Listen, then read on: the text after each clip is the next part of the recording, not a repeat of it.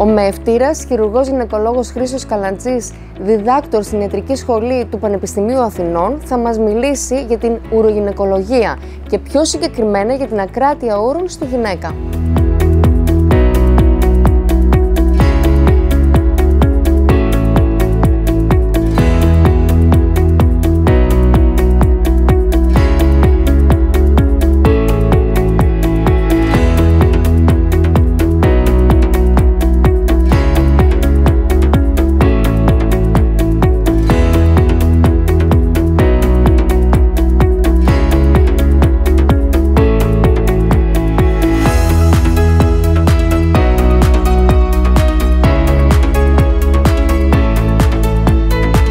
Ξεκινώντας κύριε Καλατζή, θα ήθελα να σας ρωτήσω τι είναι η ουρογυναικολογία και ποιες παθήσεις αφορά.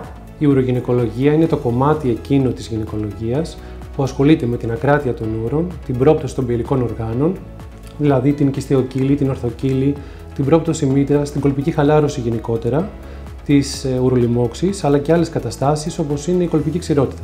Όσον αφορά την ακράτεια ούρων, πόσο συχνά εμφανίζεται στις γυναίκες; Η ακράτεια ούρων είναι αρκετά συχνή στις γυναίκες. Υπολογίζεται από μελέτες ότι η συχνότητα κυμαίνεται μεταξύ 25 και 40%. Δηλαδή, 25 με 40% των γυναικών κάποια στιγμή στη ζωή τους θα εμφανίσουν ακράτεια των ε, ούρων. Φανταστείτε λοιπόν ότι αφορά εκατομμύρια γυναίκες ε, παγκοσμίως και επηρεάζει σημαντικά την ποιότητα ζωής τους, καθώς θέτει κάποιους περιορισμούς πολλές φορές στην καθημερινότητά τους. Το καλό βέβαια είναι πως τα τελευταία χρόνια οι γυναίκες έχουν ευαισθητοποιηθεί και ευτυχώς αναζητούν πια βοήθεια για ένα τόσο ε, σημαντικό πρόβλημα. Γιατρέ, ποια είναι τα συμπτώματα που θα οδηγήσουν μια γυναίκα στον ειδικό; Τα συμπτώματα ποικίλουν.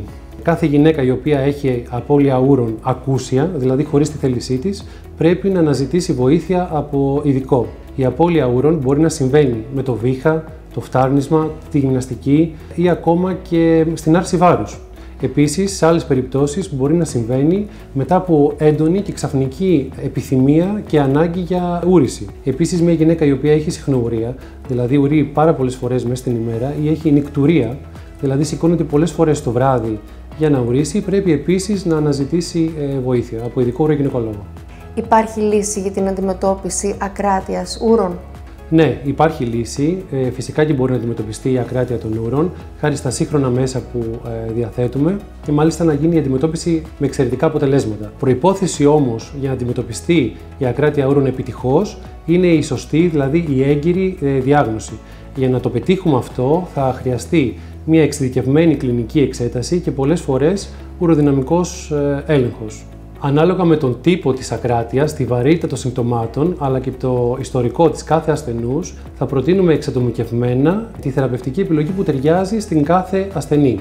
Σήμερα η ακράτεια των ούρων μπορεί να αντιμετωπιστεί συντηρητικά, δηλαδή χωρίς χειρουργείο, με φαρμακευτική αγωγή ή και με ελάχιστα επεμβατικές τεχνικές, όπως είναι η τοποθέτηση ταινίας ελεύθερης τάσης. Κύριε Καλατζή, θα θέλαμε να μας πείτε κάποιες ακόμα λεπτομέρειες για την αντιμετώπιση της ακράτειας με ταινία. Η τοποθέτηση της ταινίας ελεύθερης τάσης είναι μια σύγχρονη και εξαιρετικά αποτελεσματική τεχνική. Η ταινία τοποθετείται κάτω από την ουρίθρα με σκοπό να την στηρίξει εκ νέου.